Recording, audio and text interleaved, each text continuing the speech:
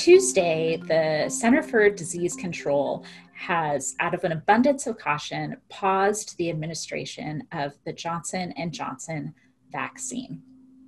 Joining us today is our public health officer, Dr. Present, to tell us what that means for Clackamas County.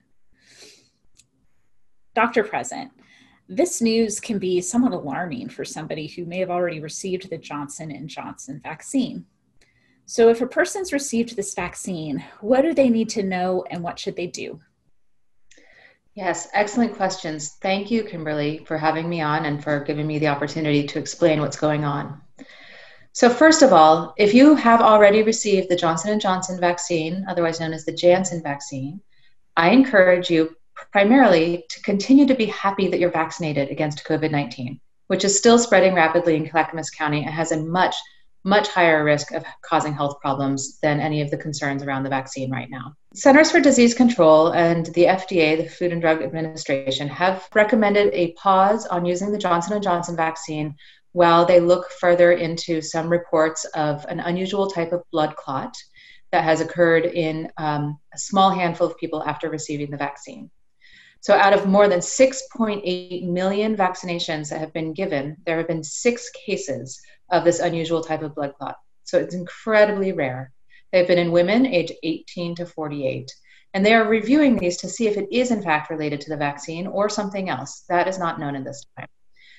This is being done out of an abundance of caution and as part of how we ensure the safety of vaccines. Whenever there is a blip and a suggestion that there might be something going on, we pause, we evaluate, and do not go forward with giving any more vaccines until we are sure that it is safe.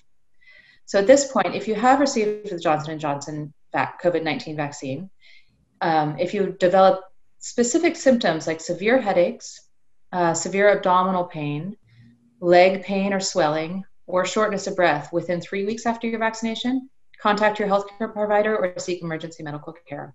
You can work with your doctor on reporting those events in the VAERS, V A E R S database. That's how the CDC and FDA pick up on these. And that information will continue to support this, the research.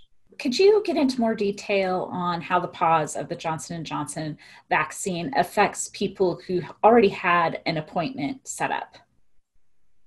Absolutely. So Clackamas County is going along with Oregon and the CDC and FDA and pausing and not using the Johnson & Johnson vaccine until this review process is complete out of an abundance of caution. The review process, uh, the committee is meeting tomorrow and we should have more information about that um, uh, later this week.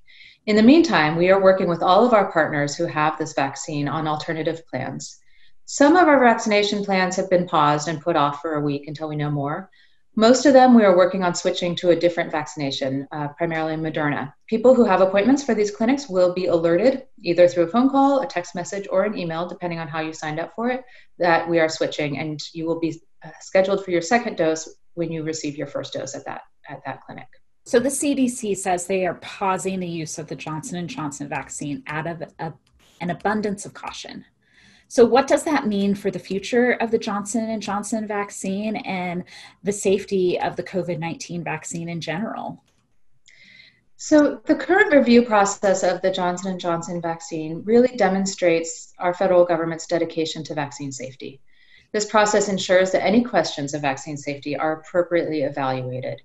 The blood clot condition reported is extremely rare, and we're still uncertain if it developed as a direct result of the vaccine or something else.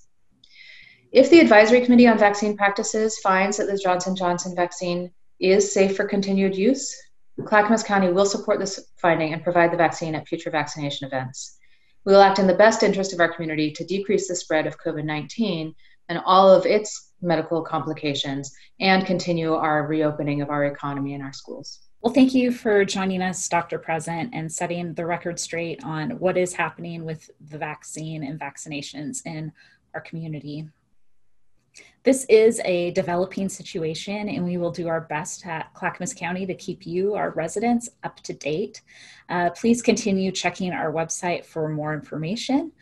And keep in mind there are vaccines that we are still administering or that are being administered in our county. You can visit our website to learn how to sign up for a vaccination.